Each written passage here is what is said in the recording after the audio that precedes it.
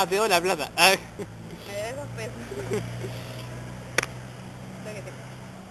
Nada, claro.